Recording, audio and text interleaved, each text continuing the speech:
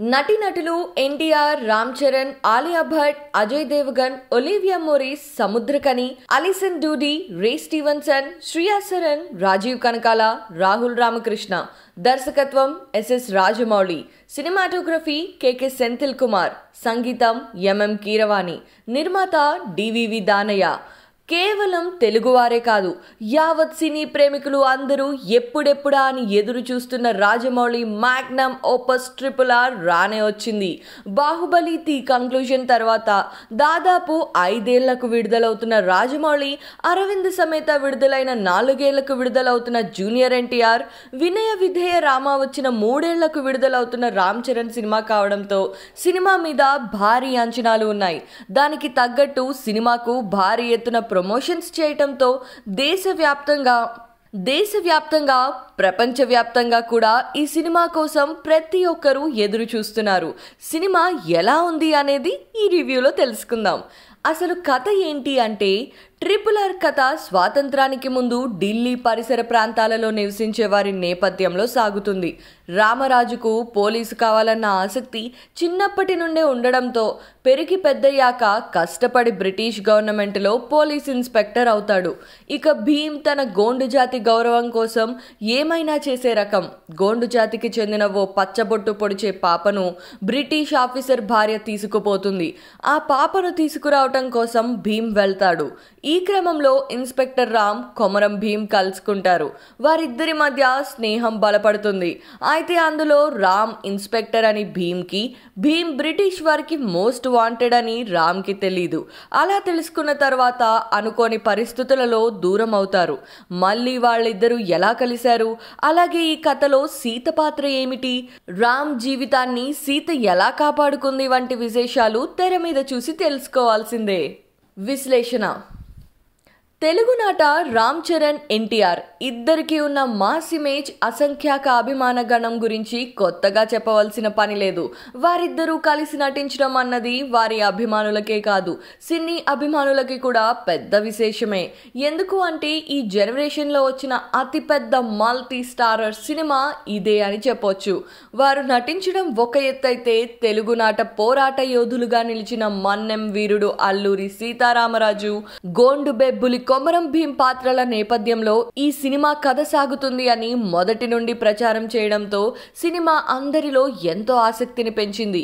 జక్కన్న ఏ cinema తీసినా దానిని జనం మెచ్చేలా చెక్కడానికి చాలా సమయం తీసుకుంటారు అని అందరికీ తెలుసు. అందుకే ఆయనకు జక్కన్న అనే పేరు ఫిక్స్ అయింది. ఇక ట్రిపుల్ ఆర్ ప్రతి ఫ్రేమ్లోనూ అదే కనిపిస్తోంది.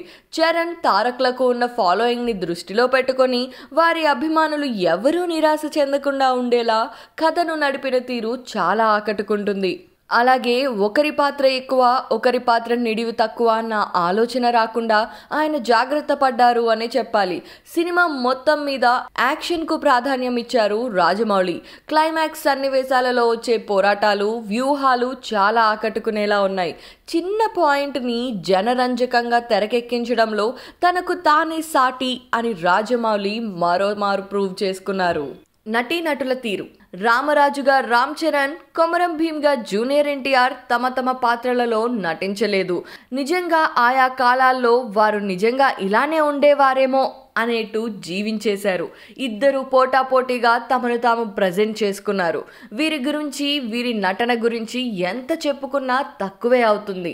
రామ్ చరణ్ ఎంట్రీ సీన్ తప్పకుండా ఆయన అభిమానులకే కాదు ఇతర ప్రేక్షకులకి సైతం కనువిందు చేసేలా ఉంటుంది.